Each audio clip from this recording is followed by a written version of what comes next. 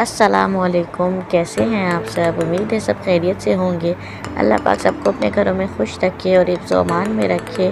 ये दोपहर का वक्त है। अबू जो है मेरी बेबी के लिए कुछ कपड़े लेकर आए थे। ये देख सकते हैं आप, ये मेरे बेबी के लिए अबू कपड़े लेकर आए थे, गर्मी है पाकिस्तान में तो उस हिसाब से ही ये कपड़े लेकर आए थे, ये हल्के थे, शॉर्ट है और टी शर्ट है और ये काफ़ी ज़्यादा हल्के थे तो मैंने अपनी बेबी को पहना दिए थे। और ये देख सकते हैं, ये शाम हो रही थी, कबाबजी बेकर, जो कि मेरी मोस्ट मोस्ट फेवरेट है, यहाँ की पेस्ट्री जो होती है डेरी मिल्क वो बहुत ही अच्छी होती है और मेरी फेवरेट है, यहाँ के स्लिम्स वगैरह भी, मुझे बहुत ज़्यादा पसंद है। तो ये मैंने जो है अबू से मंगवाई थी तो शाम के वक्त वो लेकर आए थे। इन लोगों का जो है बॉक्स पहले कुछ और कलर का था। अब देख सकते हैं ये ब्लैक कलर का हो गया। अच्छी लगी इनकी मुझे बॉक्स वगैरह।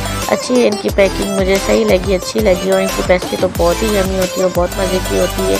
मुझे तो बहुत ज़्यादा पसंद है। कौन कौन जो है यहाँ से केक वगैरह परचेज़ करता है, मुझे कमेंट्स में ज़रूर बताना इनके और भी फ्लेवर जो हैं वो कैसे हैं। वो किस तरह का फ्लेवर है, उसका यमी है, कैसे है, कैसे मैं परचेज़ करूँ, नहीं करूँ, मुझे कमेंट्स में ज़रूर आप लोगों ने बताना। ये मिल्की माल्ट फ्लेवर था, ये मुझे इतना ज़्यादा ख़ास नहीं लगा। मुझे जो पसंद है, वो मेरा जो है डेरी मिल्क है, मेरा फेवरेट डेरी मिल्क है।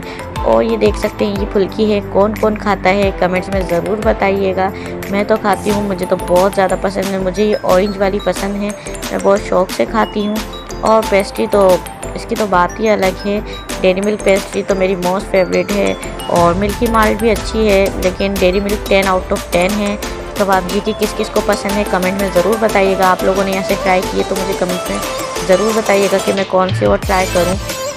मुझे तो यही अच्छी लगती है।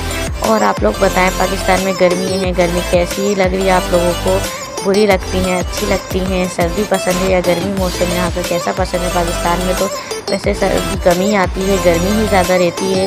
मैं भी गर्मी से बहुत ज़्यादा परेशान हूँ पाकिस्तान आकर। लेकिन ये है कि जब तक हूँ बस, तब तक हूँ, फिर तो अपने वापस चले जाऊँगी। और वहाँ पे जो है इतनी गर्मी नहीं होती है, वहाँ पे अगर गर्मी होती भी है तो बारिश हो जाती है। ये है कि वहाँ का मौसम जो है बहुत अच्छा होता है वेदर बहुत अच्छा होता है, यहाँ की तरह वेदर बिल्कुल भी नहीं है। यहाँ का वेदर तो बहुत ज़्यादा गर्म है पाकिस्तान का। और मैं इंजॉय कर रही थी पेस्ट्री आप लोग को भी देख के मुँह में पानी आ गया होगा। कमेंट्स में ज़रूर बताना किस किस के मुँह में पानी आ गया है। पेस्ट्री को देख के बहुत यमी है। मैं देख के जब ये ब्लॉग रिकॉर्ड कर रही हूँ तो मेरा दोबारा से वापस यही दिल चाह रहा है कि मैं वापस यही दोबारा मंगवाऊँ यही खाऊँ।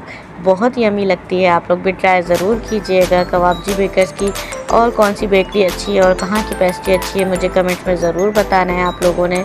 तो मैं ज़रूर ट्राई करूँगी। जिसकी भी ये ब्राउनी फेवरेट है तो वीडियो को लाइक करना है कमेंट में ज़रूर बताना है। और वीडियो को शेयर करना है। मेरे ब्लॉग आपको कैसे लगते हैं, मुझे कमेंट में ज़रूर बताइएगा। और अगर आप लोग को भी ब्राउनी अच्छी लगती है तो इसी बात पे मेरी वीडियो को लाइक कर दीजिएगा। मैं इसी तरह के यमी ब्लॉग आप लोग के साथ शेयर करती रहूँगी। और ये देख सकते हैं, ये फुल्की है किस किस के एरिए में मौजूद होती है, मिलती है।